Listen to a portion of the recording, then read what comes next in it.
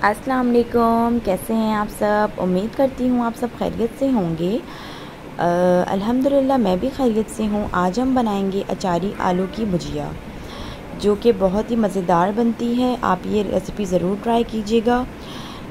उम्मीद करती हूँ आपको ज़रूर पसंद आएगी आएगी। अगर आप ट्राई करेंगे तो। चलिए, अब हम बनाना स्टार्ट करते हैं। मैंने एक पैन ले लिया है कढ़ाई ले ली है। या कढ़ाई ले ली है। आप जो आपके पास अवेलेबल हो, कढ़ाई या कुछ भी, वो आप ले सकते हैं, या डेगची वगैरह। खैर, मैंने सरसों का ऑयल लिया है, एक कप इसके बाद मैंने इसमें राई दाना ऐड किया है, छोटा चम्मच वन टीस्पून मैंने इसमें मेथी दाना ऐड किया है वन टीस्पून मैंने इसमें सौंफ ऐड की है। वन टीस्पून मैंने इसमें कलौजी ऐड की है। इसके बाद मैंने दो अदद प्याज ली थी, इसको मैंने ब्लेंड कर लिया था। वो मैंने इसमें ऐड कर दी है। और गाइस मैंने इसमें चॉप की हुई तीन से चार लहसुन के जवे भी ऐड किए थे, जो कि मैं वीडियो में नहीं दिखा सकी। तो वो भी आपने इसमें ऐड करने हैं। जब मैंने प्याज ऐड की है, उसके साथ आपने चॉप की हुई लहसन भी ऐड करनी है।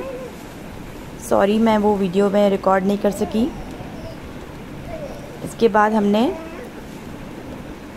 10 से 12 कड़ी पत्ते के, पत्ते ले लेने हैं हमने, कड़ी पत्ते। वो हमने इसमें ऐड कर लेने हैं और इन तमाम चीज़ों को हमने अच्छी तरह भून लेना है। और हमने प्याज को इतना मतलब पकाना है कि थोड़ी गोल्डन सी हो जाए। प्याज को जलाना नहीं है। प्याज को हमने लाइट सा ब्राउन करना है। कड़ी पत्ते की बहुत ही प्यारी सी खुशबू आना स्टार्ट हो गई है। अब हमने आलू लेके धो के काट लिए थे। आपको जो अच्छा लगे, जिस शेप में आप पसंद हो, आप काट सकते हैं। देखिए, हमारा मसाला भी भुन चुका है। और प्याज भी हमारी लाइट सी ब्राउन हो चुकी है। ये देखिए आप ऑयल भी ऊपर आना स्टार्ट हो गया है। इसका मतलब है प्याज हमारी ब्राउन हो चुकी है। अब इसमें हम ऐड करेंगे आलू जो हमने काट लिए थे। इसको अच्छी तरह हम इसमें मिक्स कर लेंगे आलू को, ताकि मसाला हमारा तमाम आलू में लग जाए। और इसको हमने कम से कम दो, एक से दो मिनट तक अच्छी तरह इसको मिक्स कर लेना है, भून लेना है। आप एक मिनट भी भूनें तो बहुत है।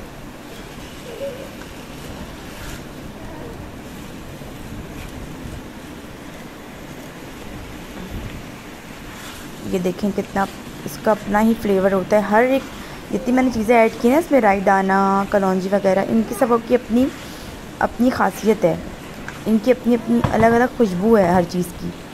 तो वो सब चीज़ ये अचारी जो है, भुजिया उसको इसीलिए अचारी भुजिया ही कहते हैं। इसमें जो चीज़ें ऐड होती हैं ना, मैंने खैर नमक इसमें ऐड किया है हद जायका।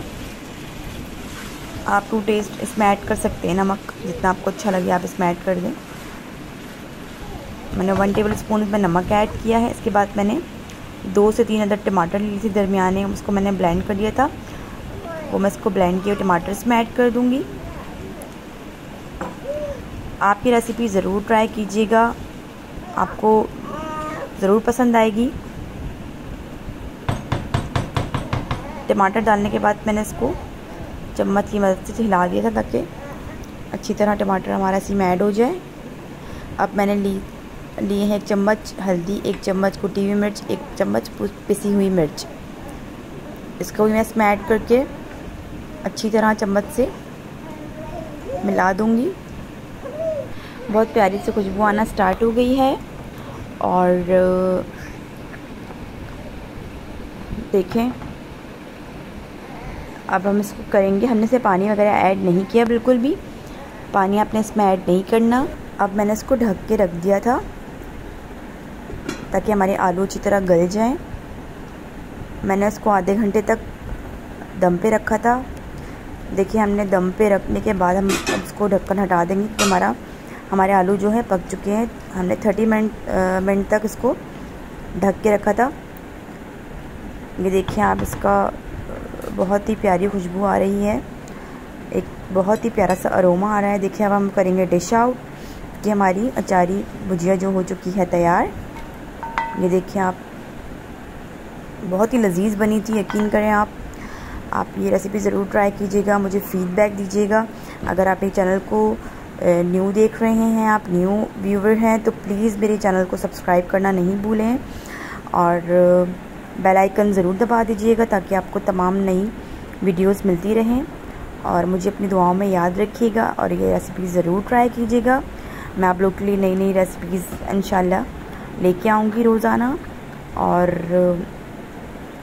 जितना हो सके सपोर्ट करें। और जितनी भी रेसिपीज़ हैं वो तमाम आप ट्राई कीजिएगा मेरी। आपको ज़रूर पसंद आएगी। ये आप मैंने इसके बाद डिश आउट करने के बाद ऊपर से हरी मिर्ची और हरा धनिया डाल दिया था गार्निशिंग के तौर पे। और देखें आप कितनी प्यारी लग रही है। इजाज़त चाहती हूँ बल्ला हाफ़